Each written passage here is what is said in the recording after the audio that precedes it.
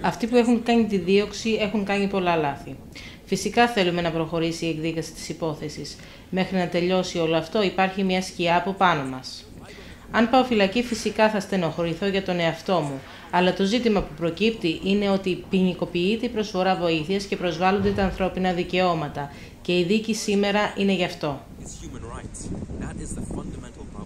Αν είμαστε χειρότεροι εγκληματίες όπως ισχυρίζονται θα ήμασταν ήδη στη φυλακή.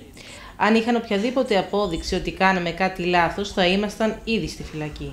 Το γεγονός ότι αναμένουμε χρόνο με το χρόνο να εκδικαστεί η υπόθεση είναι μια απόδειξη ότι δεν υπάρχει βάση ως προς τις κατηγορίες. Εγώ είμαι Ευρωπαίος πολίτης και έχει γίνει γνωστή η υπόθεση αυτή. Υπάρχουν όμως πολλές υποθέσεις που αφορούν πρόσφυγες και δεν έχουν γίνει γνωστές και δεν έχουν κάποια υποστήριξη και αυτό είναι τρομακτικό. Αυτό που ζητάμε είναι να μην εκδιώκεται και συλλαμβάνεται εκείνος που θα βοηθήσει τον συνάνθρωπό του. Για το αποτέλεσμα είμαστε σίγουροι. Γιατί ξέρουμε ότι δεν έχουμε κάνει τίποτα κακό. Το να βοηθάς ανθρώπους δεν είναι κακό. Πρέπει να, να το γνωρίζουν όλοι αυτοί και το ξέρουν όλοι.